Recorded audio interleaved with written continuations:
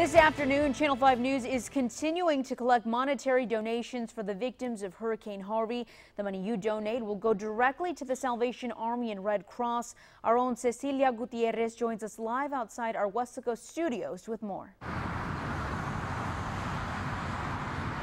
Hey guys, good afternoon. We are right outside of our Weslaco studio located at 900 East Expressway in Weslaco where we're asking for monetary donations for those affected by Hurricane Harvey. Now we have four wonderful sponsors and they are Lone Star National Bank, the Doctors Hospital at Renaissance, the Law Office of Michael M. Guerra, and Gonzalez Furniture. So for the first $40,000 donated, these offices are going to be matching that donation. So each sponsor is going to put in $10,000 to equal a grand total of the $40,000 that would have already been made.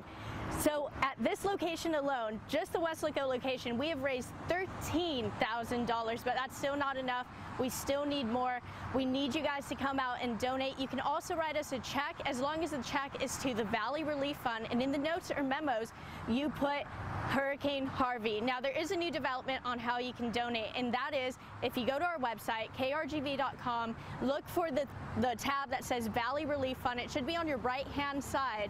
Click on that and there will be a link to the GoFundMe page that will be towards the Valley Relief Fund and Hurricane Harvey. So come out, come donate, come visit us. Let's do a little bit of good today.